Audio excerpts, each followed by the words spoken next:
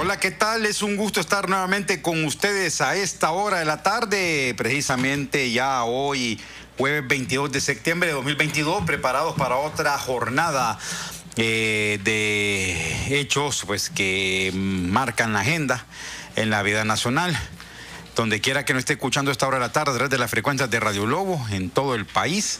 Eh, ya está preparado Ronald López, eh, Ana Godoy en la producción, Cristian Maradiaga desde las redes sociales eh, de Globo TV. Aquí también ya nos acompaña don Carlos Paz López, pero antes hay una reunión en este momento de urgencia en Casa Presidencial ante las lluvias que han, pues han arreciado en gran parte del país. Hay inundaciones, hay hay considerables daños. En este momento pues está el eh, asesor presidencial eh, Manuel eh, Zelaya, que precisamente está... reunidos en la sede del Poder Ejecutivo, pero antes de ir de, de, ver qué es lo que está pasando en la sede del Ejecutivo, don Carlos Paz López nos acompaña como todas las tardes acá en Cuarto Poder. ¿Cómo está, don Carlos? ¿Cómo le va? Muy bien, Brian Flores buenas tardes amigas y amigos.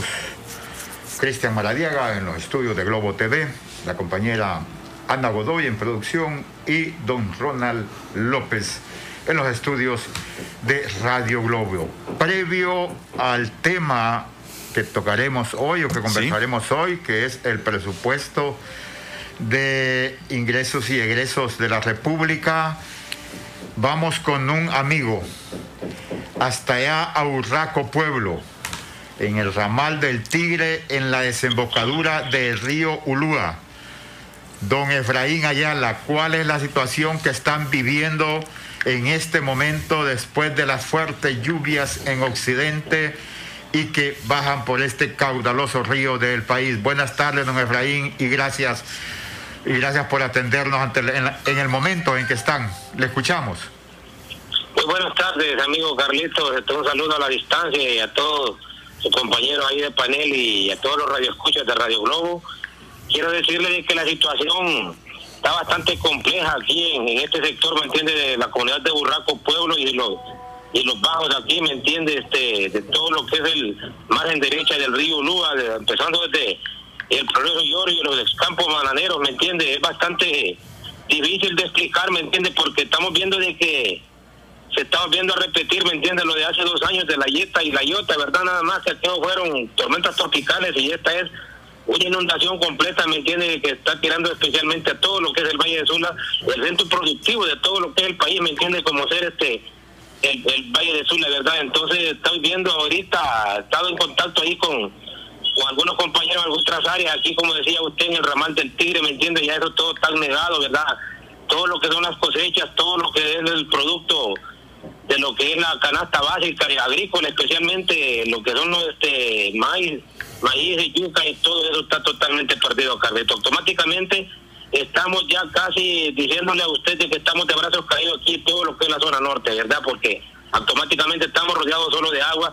Si las lluvias continúan, ¿me entiende? Ahí en el sector norte de Santa Bárbara, automáticamente el río Lúa va a ser un solo desastre en todo lo que es este Valle de Sula, ¿me entiende? Así que si estoy incapacidad de contestar a otra pregunta, compañero Carlito, yo le escucho. Sí, ustedes cómo están haciendo, o sea, hablamos de los seres humanos.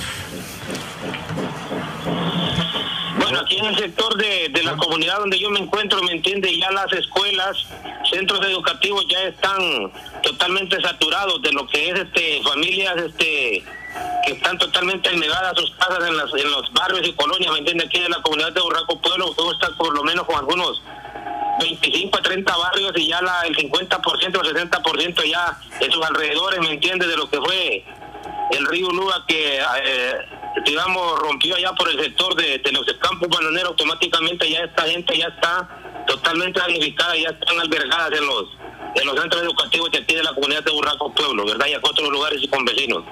Efraín me comentaba que ahí el Ulúa, el se parte en dos brazos para su ingreso al mar. Sí, este, el UNU automáticamente, la Tela Raro Company, en la época de que ella fluía aquí como exportadera de banano, automáticamente hizo muchos trabajos que ahora este, le son beneficiosos a, los pueblos cercanos aquí a las aldeas circunvecinas, porque cuando la tela se retiró, automáticamente esto se convirtieron en aldeas, ¿me entiende? Y pueblos, como dicen, fantasmas porque había el flujo de dinero de parte de la tela. Pero le dejó algunos beneficios, digamos, los puentes. Ahí le envié un video a usted donde puede ver el, el puente que transita entre la comunidad de Burraco Pueblo y, la, y los otros campos bananeros de allá del sector de, del 45, La Fragua, Virichiche, Palomas eso está totalmente incomunicado, ¿no? hay y habían dos máquinas este, puestas aquí por la por alcaldía y algún vecino aquí de la comunidad que prestó su máquina de esa de excavadora para hacer este el traspaso de de la brosa que queda la, la, arbolera que trae el río, ¿me entiendes? Para que pueda fluir, ¿me entiendes? La corriente, de lo contrario, este puente podría colapsar en cualquier momento, ¿verdad? Por la fuerza de la tormenta y de la, de la crecida, pero en lo que cabe lo demás, Carlito, eso es lo que le puedo informar a Torieta, ¿verdad? Y cualquier cosa podemos seguir en contacto, pero si tiene otra pregunta, pues estamos de acuerdo sí, en responderla. Sí, concluyo y le agradezco. Sé que están muy ocupados. La ayuda humanitaria que necesitamos que ya le está llegando. Este, ahorita estaba viendo la noticia de que como que va a llover una, una declaratoria de emergencia, ¿me entiende? En casa presidencial a nivel nacional, ¿verdad? Pero como en la ausencia de la presidenta, pues está el asesor presidencial ahí en casa de gobierno, el señor Manuel Zelaya Rosales, y al haber alguna algún decreto de eso, pues automáticamente tienen que haber este ayudas humanitarias, ¿verdad? Para todos los damnificados, automáticamente los del Valle de Sula, lo que es el sector de, de Pimienta, Villanueva, San Manuel, El Progreso, Escampos Bananeros, allá para el sector norte, donde está Burraco Sur, está la 8, la 4, la 4 todas esas, esas aldeas automáticamente van a quedar negadas, pero ahorita lo que es en asunto de ayudas, Carlito, eh, no, no tenemos nada, ¿me entiende? Aquí automáticamente estamos pasando con lo poquito que nosotros teníamos al momento de esta, de esta crecida. Le agradezco mucho, Efraín, y estaremos en contacto para ver cuál es, cómo se va presentando la situación. Estamos a la orden, Carlito, y cualquier cosa, pues yo voy a seguir monitoreando aquí, ¿me entiende? Las riberas del río Luba para estar informando paulatinamente. Gracias. Muchas gracias. Un saludo a la distancia. Muchas gracias, don Efraín Ayala, de este Urraco Pueblo, en la desembocadura del río Ulúa. en el ramal del Tigre. Sí, ya su acceso a lo que es al Mar Caribe. Al Mar Caribe. Sí, ¿le parece que escuchemos brevemente lo que está hablando el asesor presidencial? En este momento eh, hay una reunión del gabinete de gobierno en Casa Presidencial. Ya mañana la presidenta Xiomara Castro estará incorporando. En el tiempo de las tormentas que ahí siguen, siguen sin reparar caminos, escuelas, centros de salud que se cayeron en ese momento. Entonces muchas veces sirven y después son juzgados por actos de corrupción. ¿Me entiende? Entonces queremos ser diferentes en todo sentido. Cuando el MIS que les mencioné hubo una respuesta inmediata no solo para el salvamento, para la emergencia, para la rehabilitación y para la reconstrucción, de forma inmediata nos ayudó toda la comunidad internacional, pero quedó pendiente la transformación de Honduras. Y la transformación de Honduras es una agenda pendiente. Y esa agenda pendiente la tiene que desarrollar este gobierno con la presidenta Xiomara Castro. El proceso de transformación es necesario para el país en todos los campos y máximo en este, de la vulnerabilidad, porque ¿dónde están las obras de mitigación que se han elaborado en, en los últimos años? No hay obras de mitigación, no hay obras de prevención. Cada, tormenta es una tragedia en Honduras y sabemos que estamos en una región de tormenta y en una región de clima inestable y de vulnerabilidad del suelo y, además de bosques diezmados que las corrientías de los cerros corren abiertamente, pues sin, ningún control hacia los valles e inundan todo. Y como nunca ha habido, Rafael, eh, diputado, nunca ha habido una planificación ni urbanística, ni planificación territorial del país. Y nunca hemos tenido tampoco una clasificación verdadera del uso del suelo en el país. Entonces aquí la gente hace colonias y las autorizan a las orillas de la quebrada, en los lechos de los ríos. Y después dice, mire que se me inundó una casa. Bueno, si le dieron el permiso en el lecho del río, ¿qué es lo que espera? Si, vino a construir y, las mismas organizaciones del Estado le dan los permisos para que construyan y ponen un relleno Bueno, aquí hay hasta supermercados colocados en las cuencas de los ríos. Después crece el río desde su, desde su lugar de, nacimiento, recobra su terreno porque es un río poderoso, hay lluvia, recobra su caudal, recobra su cuenca, su microcuenca e inunda. Entonces dice, ay, miren la inundación. Pero sí, hace 20 años se hubiera evitado sin hacer la colonia ahí. Entonces yo pienso, aprovechando que hay aquí presencia de, de líderes y alcaldes municipales, el asesor presidencial Manuel Zelaya, don Carlos, eh, con relación a la emergencia que se está viviendo en gran parte del país por las torrenciales lluvias que han caído, que están afectando eh, muchas regiones. Aquí, por ejemplo, en Tegucigalpa ya se sobreentiende que la zona de la Guía está fuertemente afectada. Eh, hace poco, pues, se conversaba con uno de los habitantes del ramal del Tigre, que donde finaliza el río Ulúa, que conecta con el Mar Caribe, y en el departamento de Santa Bárbara está cortada la carretera a la altura del poblado de Hualala. Y Copán también. Y también en el departamento de Copán, o sea... En el sur, también el río Chuluteca, las lluvias que caen acá, en Francisco Morazán, específicamente acá en el Distrito Central, van para Chuluteca. Sí, entonces está complicada la cuestión y el gobierno pues tiene mucho que hacer en este aspecto. Bueno, ya cambiando de tema, don Carlos, ¿qué tenemos para hoy? Conversamos sobre el presupuesto de ingresos y egresos de la República para el año 2023. Se ha señalado el incremento que tiene, pero también los especialistas, los economistas manifiestan que el presupuesto es un instrumento de desarrollo. Necesitamos conocer cuánto es la inversión para la educación, la salud, la infraestructura después de esta tragedia que estamos viviendo, quedará totalmente destruida. Y conversamos con... Bueno, ya a esta hora de la tarde ya tenemos... Diga, Ronald. Ah, excelente, muchas gracias. Bueno, ya nos acompaña don Juan Ramón Flores, un reconocido dirigente de Libertad y Refundación en el departamento de Comayagua y también parlamentario por esa zona del país. Bueno, un gusto, eh, bueno, con Juan Ramón tenemos mucha confianza desde hace tiempo, entonces eh, no nos solemos vocear. En algún momento escucha el voceo, obviamente es por el grado de confianza pues que se tiene con el parlamentario. ¿Iba a decir, don Carlos? Sí, Juan Ramón Flores también, el departamento de Comayagua está siendo bastante, bastante golpeado por las lluvias. Pero buenas tardes, Juan Ramón, bienvenido a Cuarto Poder. Gracias por compartir con nuestra audiencia. Saludos, compañeros y amigos, hasta la capital de la República, eh, al auditorio de Cuarto Poder de Radio Globo, felicitarle por ese programa, por tocar temas trascendentales de la vida política, social y económica del país. Precisamente estamos aquí en Taulabeco, Mayagua, en un albergue donde venimos de dejarle alimentos y colchones porque aquí está golpeando fuerte las lluvias. Eh, hay 14 familias, se van a mm, albergar más familias ahorita. El alcalde de este pueblo quedó atrapado en una comunidad. Se mandó una retroexcavadora para para limpiar el camino y que pueda regresar al pueblo. Eh, estamos con Copeco, eh, ha cumplido, pues este, ahorita también andan en la libertad y en el municipio de eh, Ajuterique, precisamente en la aldea del misterio. Mañana estaremos en Miámbar, le avisamos de antemano, llevando provisiones y colchones, colchonetas, y también para la comunidad de Agua Dulcita, el Rosario, eh, también estaremos allá con los agentes del partido, pero sobre todo con la alcaldía municipal. Es lamentable lo que pasa a nivel nacional. somos un país cada día más vulnerable. Y la gente decía, pero hace cuatro años aquí nos inundaba.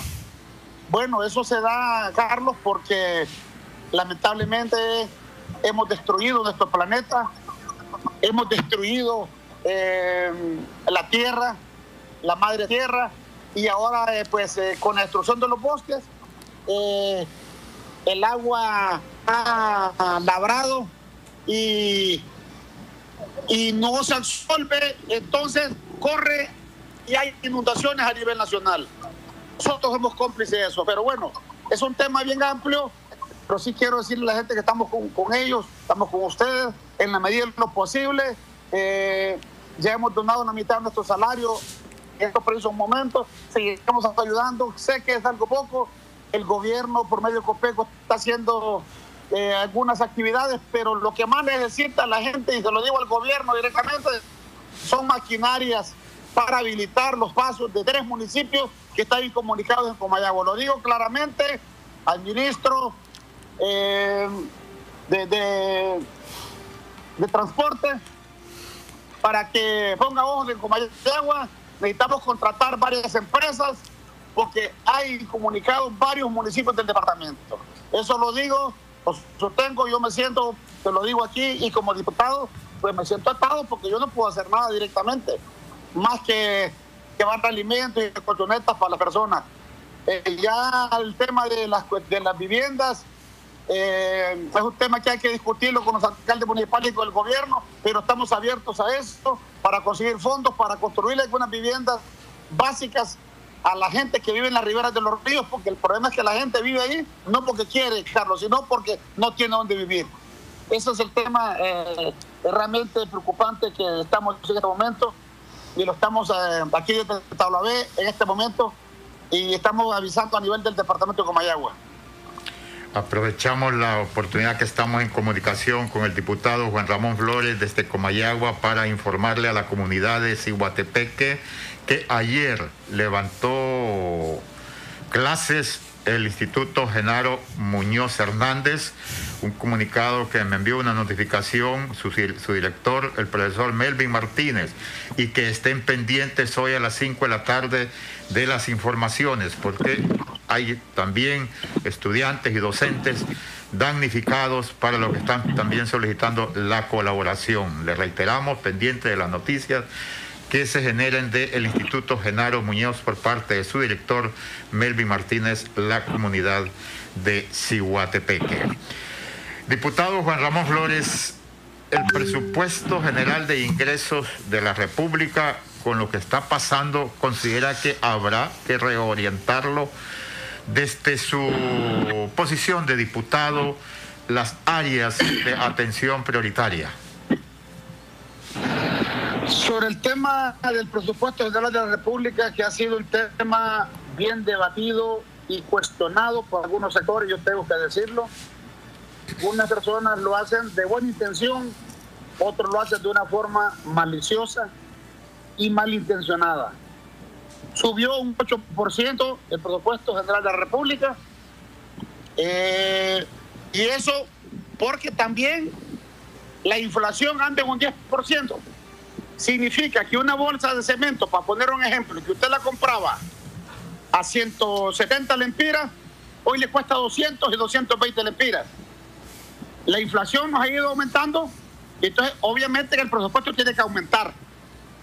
Claro, no está aumentando para el Poder Ejecutivo, no está aumentando para el Poder, eh, eh, para los entes descentralizados, ni para la Corte Suprema de Justicia, porque eso ya lo manda la Constitución, cuánto le toca quedarle a la Corte Suprema de Justicia. Que hay que aceptarlo, que cuando no se gasta tiene que devolverlo y no se ha devuelto a la caja del gobierno. Pero sí tenemos que decir que se está aumentando en salud y en educación. El tema, eh, el tema de, de salud es un tema que hoy por hoy ha quedado al descubierto. ¿Qué fue lo que pasó en 12 años de dictadura, a la cual yo felicito, los felicito a ustedes porque fueron parte de la concientización para que la población tomara una decisión histórica. Y eso no se resuelve. Usted puede creer en este momento que no hay medicamentos en hospitales. Anoche se formó una comisión de ocho diputados para citar al ministro, emplazarlo, para que haya una respuesta qué es lo que está pasando, por qué eh, la traba para la compra, porque hay una licitación pendiente. Pero la situación de transparencia es complicado porque necesita muchos procesos. Pero cuando salen compras directas también se critica porque se aprovechan de esa compra directa para actos de corrupción. Y ya lo decía el FOSDE, lo dice también el CNA, 60 mil millones anuales se pierden en actos de corrupción. Ahora, ¿qué va a hacer entonces el, gobierno para que esos 60 mil millones no se los roben? Eso es una buena pregunta que estamos haciendo. Y a nivel de, de libre nosotros, pues nos llenamos la boca que somos transparentes. Y si hay algún caso en particular, yo llamo a los medios y a quien sea para que lo denuncie. Porque no vamos a permitir que siga habiendo corrupción. Eso ha sido problema para que compremos los medicamentos, para que se las licitaciones y compremos medicamentos de calidad, no pastillas de harina. Porque aquí hay laboratorios que hacen contratos con el Estado y esos contratos vienen arreglados porque no hay un organismo que vigile y que diga si la calidad de cada medicamento que está comprando el Estado es de óptimas condiciones o tiene los elementos necesarios. A la educación, 12.500 escuelas destruidas, casi inestables. No va a poder ajustar el presupuesto que se aprobó o que se va a aprobar o que se va a introducir el Congreso Nacional para lo que es las escuelas. Porque hay que comprender, fueron 12 años de atraso, de deterioro, de corrupción, donde no se hizo una sola escuela en el país, donde no se puso un clavo, ni una lámina a nivel nacional. Eh, temas de infraestructura. Claro, la calidad de vida del hondureño tenemos que solventarla. Yo le puedo decir algo. Las expectativas del hondureño eran muy grandes, Carlos. Y eso ha sido una desventaja para nosotros. Muchas expectativas el pueblo hondureño. Pero sí podemos decirle que un millón cuatrocientas mil familias, Carlos, no pagan luz. Y si sumamos que una familia puede ser de dos, de tres, yo estoy sumando que casi son 5 millones. Pero hay un sector de la oligarquía de este país que son las que hacen los grandes negocios. Obviamente que están volando la candela. Hay un cerco mediático en contra de las acciones de libre. Por ejemplo, yo voy a poner un ejemplo claro, Carlos, y se lo digo a ustedes yo. El combustible llegó a costar 155 lempiras el galón. Pero cuando subió el combustible dijeron, Xiomara Castro, prometió bajarle y hoy está a 155. Ha bajado 36 lempiras con 35 centavos el combustible, pero ¿qué dicen los opositores? No, es que bajó el mercado internacional, no fue Xiomara. Pero tengo que decirle a la opinión pública, son 60, son 40 mil millones de lempiras que el Estado no recibe por el impuesto a los combustibles, porque son 10 lempiras por galón a nivel nacional y se subsidia el LPG eh, para la cocina, porque a lo contrario tuviera 500 lempiras en este momento. Se está subsidiando el diésel. Situaciones que han sido complicadas. Entonces, el Estado dirá a la gente, ¿de dónde van a sacar 380 mil millones? La pregunta del millón es esa. 380 millones. Bueno, pues el problema más grave que tenemos en el país, yo le voy a decir algo los primeros 60 mil millones van a ser de los actos de corrupción que se robaban el Partido Nacional, que en, este gobierno no se los van a robar. Yo lo digo categóricamente. Los empresarios ahorita están recibiendo, según el FONTE, en exoneraciones y exenciones fiscales, una aproximación de 55 mil millones de lempiras. Porque esas excepciones, yo le puedo decir algo a ustedes fueron dadas en los tiempos de la crisis del robo en las elecciones, el 2013, se las dieron esas elecciones a los empresarios porque ellos mandaban a los camisetas blancas a marchar y atacar a libre. en el robo de las elecciones 2017, del robo de la reelección de Juan Orlando, y premiaron a los empresarios. Lo estoy diciendo categóricamente, porque estaba analizando, ahorita metí un decreto yo, para que se eliminen las excepciones y exoneraciones fiscales a la oligarquía de este país, porque se le dio básicamente para generar empleo, pero si el empleo lo está generando la microempresa, los datos oficiales es que el 71% lo genera la microempresa, el otro 30% lo debe generar la gran empresa, pero no lo está generando y estamos perdiendo 55 mil millones anuales. Esos temas tenemos que discutirlos. ¿Cómo rescatar la ADN? Hay un fondo para rescatar la ADN porque esos contratos no se van a seguir dando, Carlos. No se van a seguir dando contratos leonilos. Y ustedes pueden verlo en el Congreso Nacional, que estamos defendiendo los intereses del pueblo. Sí. Y lo vamos a seguir haciendo. Eh, rescatar un tutel, por ejemplo. ¿Cómo es posible que nosotros somos dueños de la banda, de todas las bandas del Estado, de las que son las radio telecomunicaciones en el país? Ajá, y nuestra institución tiene un déficit mensual de 500 millones de lempiras en rojo. Ajá, ¿y cómo es que empresas de Claro y Tigo y las demás empresas siguen ganando cantidades multimillonarias y el gobierno no? Esos son temas que hay que discutir y son bien amplios. Pero el presupuesto de la República podemos garantizarle que desde hace 12 años no se abre una plaza en educación.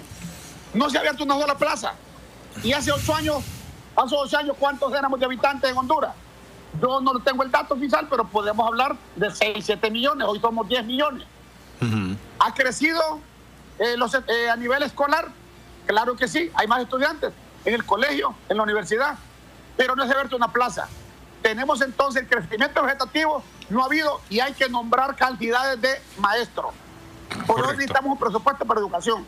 A nivel de la medicina, están abandonados los centros de salud, están cerrados porque no hay médicos ni enfermeras, pero no hay presupuesto.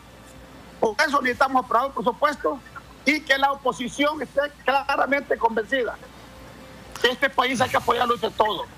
Pero hay gente que quiere que esto fracase porque tienen una remota posibilidad, creen los cachurecos, de volver al poder y el pueblo no le va a dar el voto otra vez. Por esa situación, yo eh, particularmente estamos apoyando el presupuesto de la presidenta. habrá algunos temas que, hay que discutirlos porque queremos que sea equitativo, temas de seguridad, sí. eh, de temas de las Fuerzas Armadas. Queremos nosotros, Carlos, que, que no estamos en guerra, no podemos seguir comprando aviones eh, y cuestiones de esos temas, yo estoy en contra de ese tema. Sí apoyar a la policía preventiva porque el tema de seguridad eh, ciudadana es, es un tema importante Sí, Juan Ramón, te vamos a interrumpir brevemente un par de segundos, si no permitís un momento en la línea. Tenemos compromisos comerciales. Ya volvemos para seguir abordando este tema. Ronald, por favor.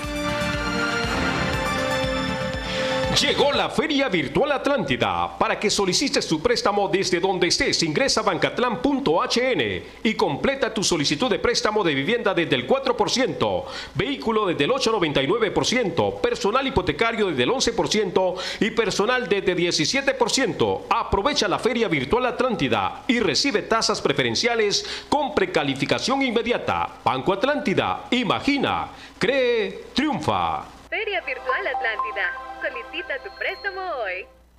Continúa la Feria Virtual Atlántida. Ingresa a bancatlán.hn. Completa tu solicitud de préstamo desde donde estés y recibe tasas y beneficios preferenciales. En préstamo de vivienda desde 4%, vehículo desde 8.99%, personal hipotecario desde 11% y personal desde 17%. Hazlo tú mismo de forma fácil y rápida, sin necesidad de ir al banco. Banco Atlántida. Imagina, cree, triunfa.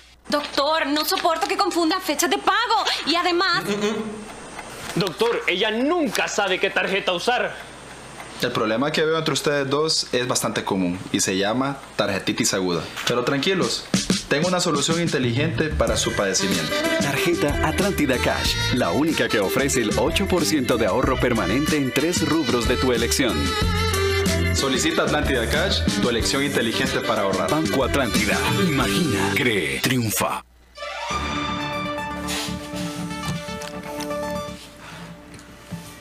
Bien, gracias por continuar con nosotros a esta hora de la tarde. Eh, seguimos en la línea telefónica con el parlamentario por Comayagua del Partido Libertad y Refundación, Juan Ramón Flores. Juan Ramón, es un gusto saludarte. Bueno, aquí la consulta es, eh, ¿Qué observaciones van a hacer ustedes en el Congreso con relación al eh, presupuesto de 392 mil millones en primer lugar? Eh, segundo, se cortó la comunicación. Bueno, ya vamos a ir con Juan Ramón Flores eh, para abordar este tema. Ya en breve también tendremos en la línea telefónica a otros parlamentarios porque es necesario abordar el tema de presupuesto general de 2023 el gobierno habla de que este instrumento del control de gasto va a tener un fuerte enfoque en la inversión social e inversión pública. Es decir, que va a ser, va a estar más destinado una gran parte de los fondos que se capten de los contribuyentes y también de préstamos, de eh, financiamiento organismos eh, financieros internacionales para eh, ser destinados a esos segmentos poblacionales históricamente deprimidos. te iba diciendo, Juan Ramón, ¿qué observaciones ustedes van a hacer al presupuesto? Eh, y en este caso también, ¿cómo llegar a consensos con las otras bancadas? No está. No está, Ronald. Eh, si podemos intentar, eh, o hay problemas con la comunicación. Hemos perdido la comunicación con el diputado Juan, Juan Ramón Flores, que les plantea que el incremento al presupuesto de más de 30 mil millones de lempiras, pues será parte financiado con el combate a la corrupción, como también una revisión a las excepciones fiscales y que la inversión pues hará alrededor de lo que es el sistema educativo, en la reconstrucción de los centros escolares y en la contratación de docentes. Bien, vamos a seguir eh, con, este tema. Eh, don Ronald nos informa, nos confirma, por favor, eh, para que retomemos la comunicación con el parlamentario Juan Ramón Flores. Y también, pues ya en cuestión de minutos tendremos comunicación con otros congresistas. Ah, está reunido con Sinajer en este momento. Ah, bueno, bueno, comprendemos, porque en este momento... Digo que estaba en tabla. Sí. Y la situación en Comayagua está muy, muy difícil. Bueno, fíjese que hace ahora al mediodía estábamos viendo unas imágenes de que se derrumbó eh, la ladera que está contigua a la Cuesta de la Virgen. ¿Quién está, nos dice? Juan Ramón nuevamente. Ah, muy bien, muy bien. La, ladera de la Cuesta de la Virgen. Entonces, eh, y está muy, muy debilitado el terreno. Bueno, le consultamos a Juan Ramón Flores. Un gusto saludarte, eh, Juan Ramón. Eh, primero, ¿qué consensos van a buscar ustedes con las otras bancadas a modo de sacar adelante este presupuesto general de 2023? Sí, bueno, ese es un tema. Nosotros queremos que la gente eh, hay que, tengo que decirlo porque son cuestiones reales. Eh, nos hemos quedado solo con los votos de libre, eh, porque hay que ser transparentes y honestos en lo que voy a decir. Actualmente hemos perdido varias votaciones de cosas importantes porque la gente que estaba del grupo de Salvador Morales no están apoyando a un 100% las decisiones que está mandando nuestra presidenta y las del presidente Redondo del Congreso Nacional. Entonces tenemos, tenemos un problema y ahí es donde necesita gente que tenga conmigo para poder eh, llegar a un acuerdo con las demás bancadas, sobre todo con la bancada partido que también ha votado en contra de nosotros. En muchas oportunidades, saben ustedes que hubo una ley de, del Consejo de Defensa y Seguridad que no pasó porque no tuvimos el apoyo de la bancada liberal y, y de la bancada de Salvador Narrala. Entonces, eh, necesitamos hacer conciencia y que la población hondureña se dé cuenta que nosotros estamos tratando por todos los medios que este presupuesto sea una herramienta de desarrollo, sea una herramienta de despegue para la economía del país. Porque la, hay temas que hay que endeudarlo, pero la ley es buena cuando se invierte para algo bueno.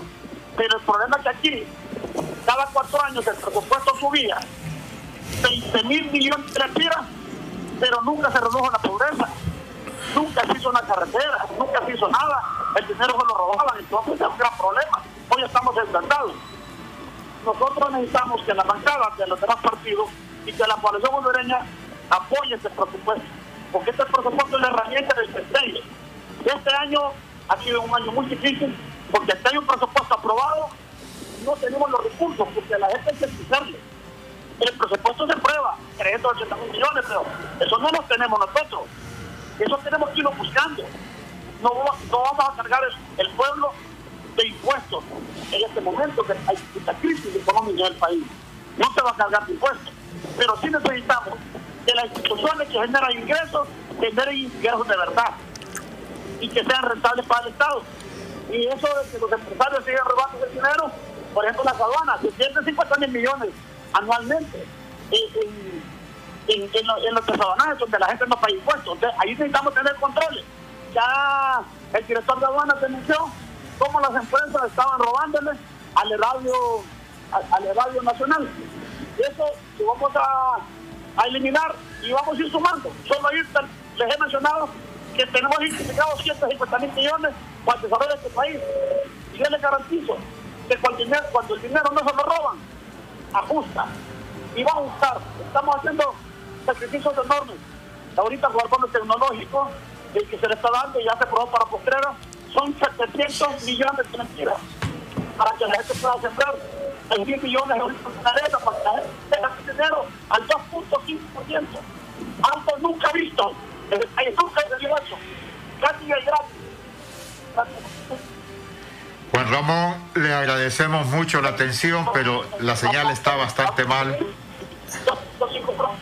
Sí, sí, parece que sigue hablando. Para que pueda generar empleo, para que pueda dinamizar la economía. Y en ese sentido yo puedo garantizar que este país se va a ver diferente. Cuatro años va a ser muy poco, pero sí yo creo que va a ser el comienzo del despegue de la economía del país, de un cambio de refundación nacional para la paz. Sí.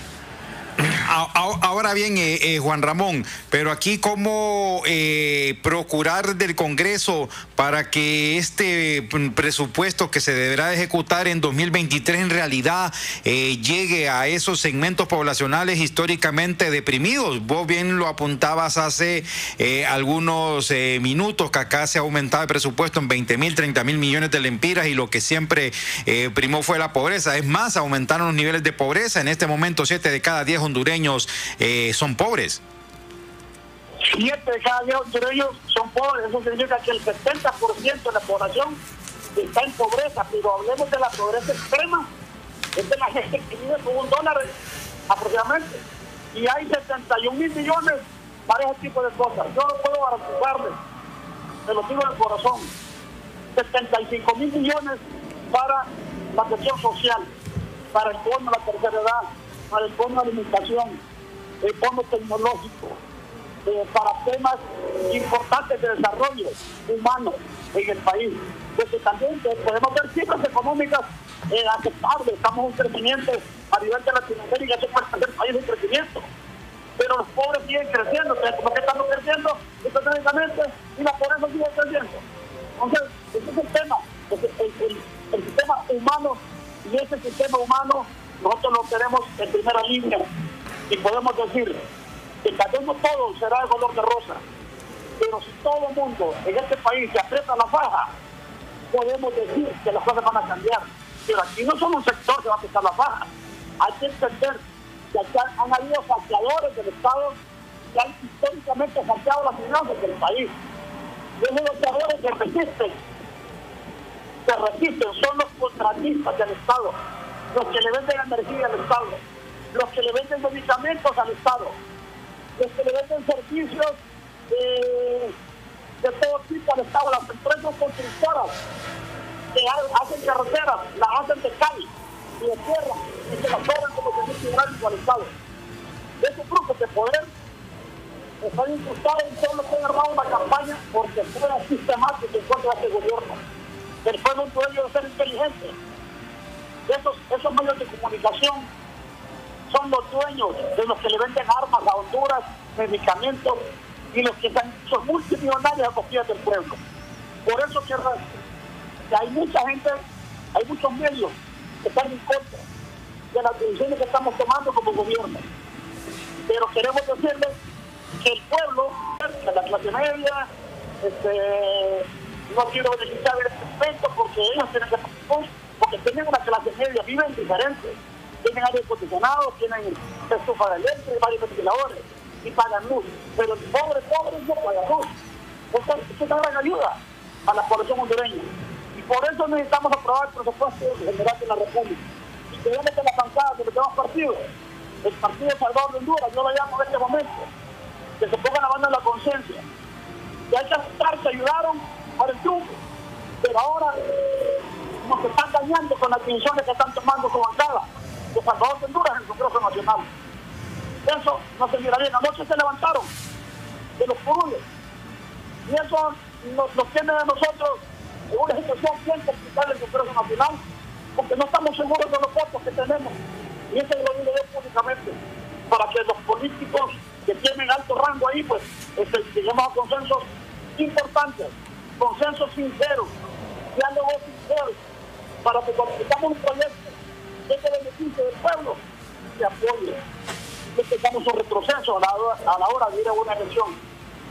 Yo garantizo particularmente que nuestro gobierno, porque después de que aprobamos el presupuesto y que hagamos muchos recortes en muchos temas que son importantes, donde se están haciendo gastos que no son necesarios, y eso lo digo aquí, tenemos que cortar los carros de lujo que tiene el gobierno y el Estado. La cantidad de seguridad que hay un montón de funcionarios que no necesitan porque nadie los anda buscando para matarlos. Pues hay funcionarios que sí necesitan por su rango, como los fiscales, los jueces, eh, gente que tiene riesgo con la toma de decisiones. Pero hay gente que no tiene ningún riesgo en la toma de decisiones. Y yo estoy en contra de la situación. Yo quiero meter un decreto para que todos los vehículos se vendan y se compren medicamentos para los hospitales. Porque no solo es el vehículo, sino es el pago de motoristas, guardaespaldas y de combustible diario a nivel nacional. Porque no van los empleados que se compran y se, dan, se vayan su carro a una oficina. Eso lo digo yo y porque si estamos en problemas, a mí me duele que en este momento no tengamos medicamentos para los pacientes de cáncer. Que no solo no tienen medicamentos, sino no tienen recursos económicos para viajar a realizarse. Y ahorita les digo de antemano a las personas que están en diálisis que va a haber un fondo para, para un bono de discapacidad y que pueden ellos anotarse, que busquen los, organismos eh, eh, encargados para que puedan anotarse y puedan recibir un bono para que puedan viajar a hacerse sus exámenes de, diálisis o realizarse o, o, algún otro tipo de cosas que tienen que hacerse a nivel nacional. Le agradecemos mucho, Juan Ramón. Gracias por el tiempo que ha dedicado para compartir con la audiencia de Cuarto Poder. Gracias, Juan Ramón. Muy amable. Un abrazo a ustedes, felicidades y siempre estamos a la orden. Saludos. Juan Ramón Flores, diputado del Partido Libre Departamento de Comayagua, tocó un tema que hay que debatir en la sociedad hondureña y son los gastos suntuarios del gobierno, de los altos funcionarios. Ya mencionaba los carros de lujo, pero se dan otros tipos de gastos. Desconocemos cuánto gastan los funcionarios gubernamentales en telefonía celular, por ejemplo en reuniones que se hacen y no se obtiene el producto esperado. En el siglo XXI las instituciones de gobierno tienen que ser eficientes. Entendemos que hay una evaluación de gerencia por resultados. Eso debe informársele al pueblo hondureño partiendo que es un gobierno del pueblo. Bien, vamos a la pausa. Ya volvemos para las conclusiones sobre este tema. Llegó la Feria Virtual Atlántida. Para que solicites tu préstamo desde donde estés, ingresa a bancatlán.hn y completa tu solicitud de préstamo de vivienda desde el 4%, vehículo desde el 8,99%, personal hipotecario desde el 11% y personal desde 17%. Aprovecha la Feria Virtual Atlántida y recibe tasas preferenciales con precalificación inmediata. Banco Atlántida, imagina, cree, triunfa. Feria Virtual Atlántida. Solicita tu préstamo hoy. Continúa la Feria Virtual Atlántida. Ingresa a bancatlán.hn. Completa tu solicitud de préstamo desde donde estés y recibe tasas y beneficios preferenciales. En préstamo de vivienda desde 4%, vehículo desde 8.99%, personal hipotecario desde 11% y personal desde 17%. Hazlo tú mismo de forma fácil y rápida, sin necesidad de ir al banco. Banco Atlántida. Imagina, cree, triunfa. Doctor, no soporto que confunda fechas de pago. Y además, Doctor, ella nunca sabe qué tarjeta usar. El problema que veo entre ustedes dos es bastante común y se llama tarjetitis aguda. Pero tranquilos, tengo una solución inteligente para su padecimiento. Tarjeta Atlántida Cash, la única que ofrece el 8% de ahorro permanente en tres rubros de tu elección. Solicita Atlántida Cash, tu elección inteligente para ahorrar. Banco Atlántida. Imagina, cree, triunfa.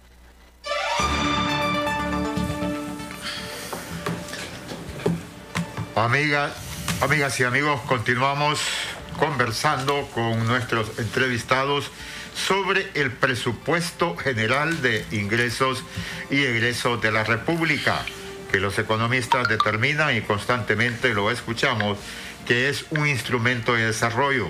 Pero en Honduras, año con año, se ven los incrementos en decenas de miles de millones y la pobreza aumenta. Así como se incrementan los presupuestos, también la pobreza se ha aumentado exponencialmente. Entonces, ¿dónde está la inversión? Buena pregunta. Hoy conocemos que de esos 392 mil millones, 45 mil millones van a ser para el pago de, deuda. Van a ser para el pago de deuda. Sí. O sea que los informes develan que el 56% del Producto Interno Bruto está endeudado. Estamos endeudados porque incluye a todos los hondureños. Correcto. Una Eh, deuda que llega a los 20 mil millones de dólares. El crecimiento en los últimos 12 años fue también exponencial. Sí, pero la pregunta es, ¿dónde quedó todo ese dinero? ¿A dónde fue a parar todo ese dinero? Se supone que si el presupuesto es una herramienta de control de gasto y sirve también para el desarrollo, pero ¿dónde está el visto? Y siempre que hablamos de desarrollo implica su vida y la mía. O sea, el cambio que debemos de tener en nuestras vidas. En teoría, pero en la práctica, por lo menos en un país eh, altamente empobrecido, altamente endeudado como Honduras, entonces eh, no se logra ver ese dinero que vaya destinado a la inversión social. Fíjese que en los últimos ocho años eh, de- de- del régimen anterior no hubo inversión social.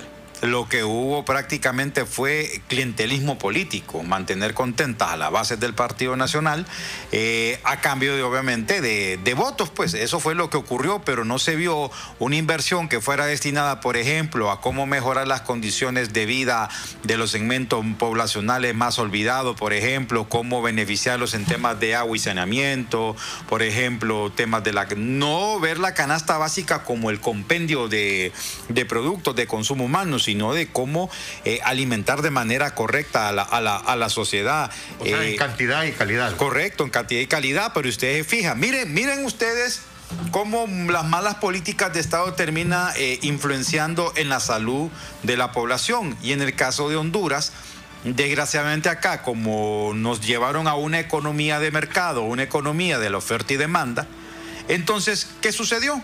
Sucedió que acá los que tenían más o los que tienen más pueden gastar más, pueden vivir mejor, pero los que tienen menos lastimosamente no tienen las mismas oportunidades.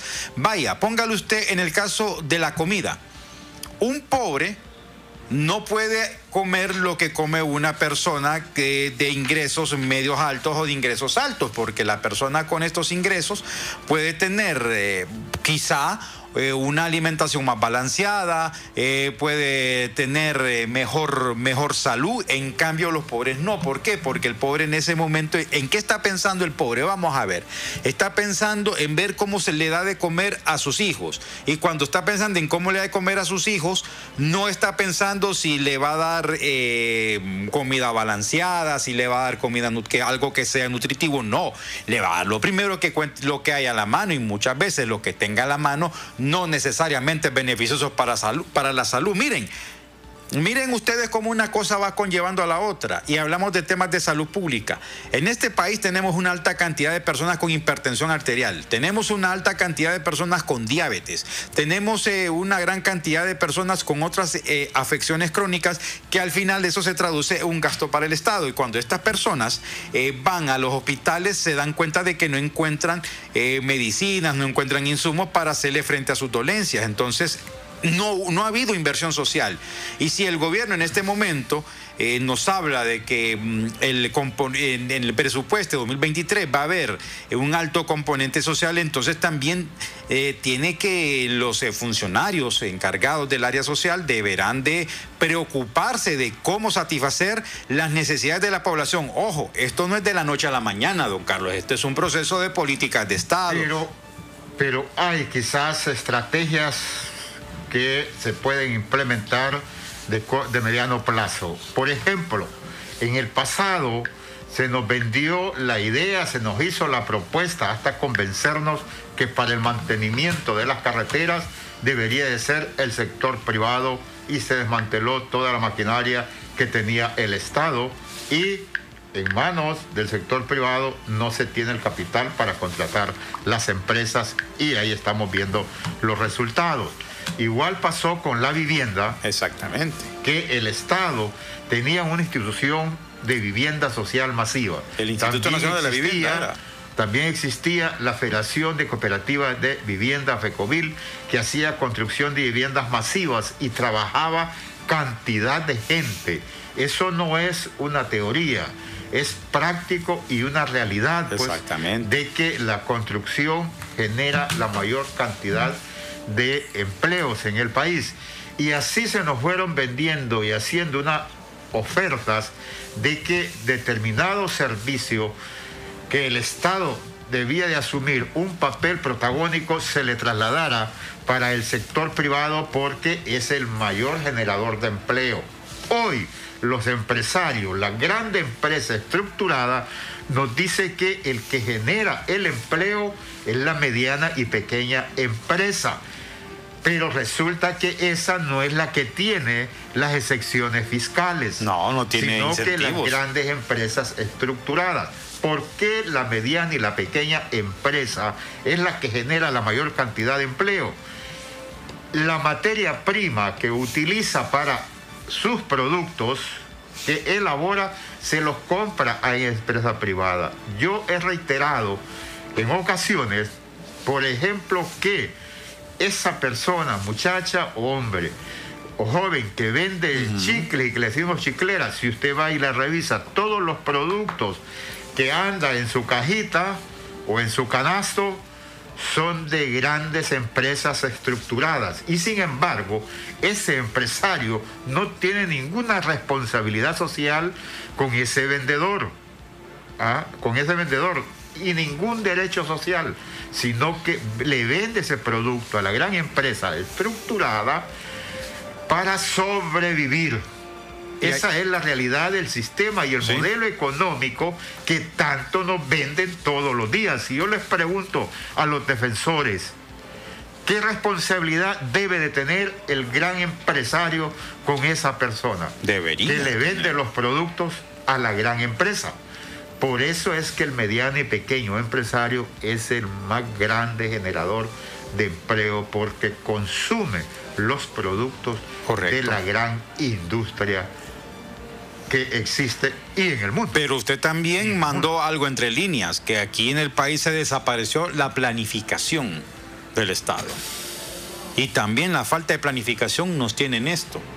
Porque, vaya, ¿cuál fue la última entidad en planificación en el gobierno del presidente Lobo cuando se reactivó CEPLAN, la Secretaría de Planificación? De ahí, con Juan Orlando Hernández para acá, se desapareció el tema de la planificación Empezaron a estratégica. hacer una serie de agencias para que fueran ejecutoras. Correcto. Como, o sea, empresas que administran los recursos del Estado. El mismo neoliberalismo. Y ese es el problema. Cuando usted tiene dinero en tantas partes, se vuelve más difícil de poder fiscalizarlo.